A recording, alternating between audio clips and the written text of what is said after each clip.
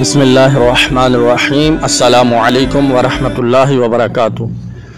حضرت خواجہ حبیب عجمی رحمۃ اللہ تعالی علیہ بڑے جلیل القدر اولیاء میں سے ہوئے ہیں۔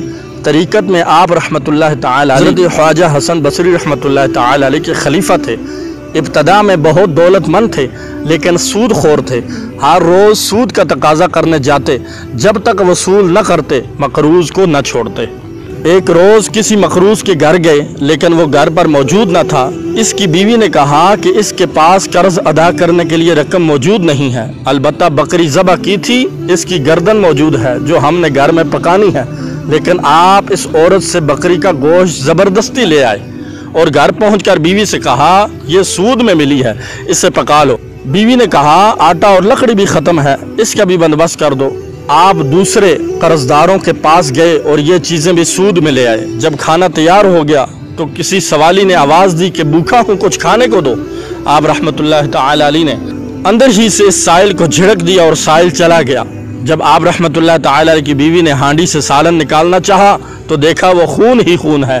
بیوی نے حیران ہو کر شوہر کی طرف دیکھا اور کہا کہ اپنی شرارتوں اور کنجوسی کا نتیجہ دیکھ لو۔ خواجہ حبیب اجمی رحمت اللہ تعالی علی نے یہ ماجرہ دیکھا اور حیرت زدہ رہ گئے۔ اس واقعے نے آپ رحمت اللہ تعالی علی کی زندگی میں انقلاب برپا کر دیا۔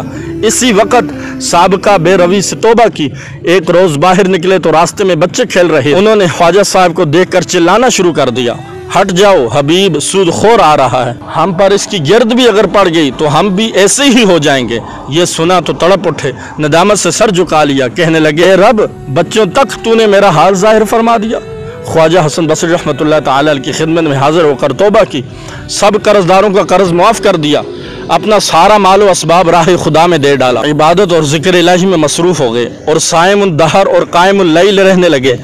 کچھ عرصہ بعد ایک دن پھر انہیں لڑکوں کے پاس سے گزرا گزر ہوا تو انہوں نے آپس میں کہا، خاموش رہو، حبیب العابد جاتے ہیں۔ یہ سن کر آپ رحمت اللہ تعالی علیہ رونے لگے اور کہا، خدایا، یہ سب تیری طرف سے ہے۔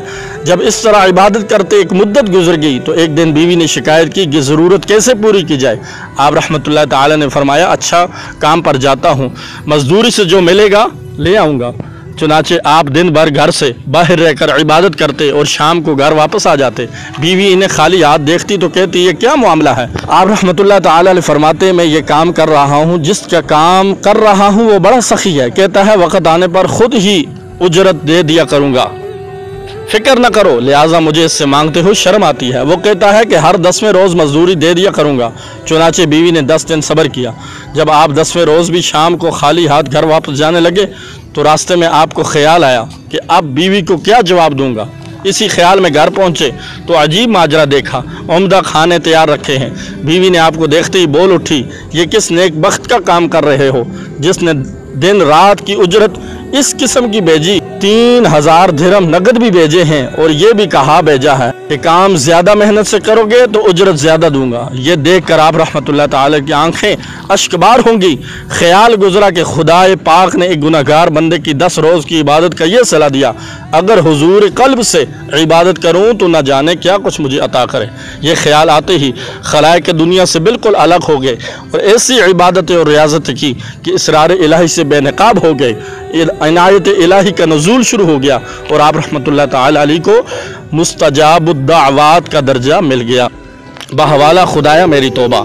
حاصل حقیقت یہ ہے کہ اللہ تعالیٰ کسی کی محنت کو رائگان جانے نہیں دیتے۔ بے شک جو جتنی محنت کرے، اس قدر وہ صلہ پائے گا۔ اس واقعے سے ہمیں یہ سبق ملتا ہے کہ ہم اپنے گناہوں سے سچی توبہ کر کے واپس لوٹیں گے۔ تو رب تعالیٰ ضرور ہمیں قبول فرمائیں گے۔ اس لیے مایوس نہیں ہونا چاہیے، بلکہ سچی توبہ کر لینی چاہیے۔ اسی میں ہماری نجات ہے۔ رب تعالیٰ ہم سب کو عمل نیک کرنے کی توفیق عطا فرمائے۔ آمین۔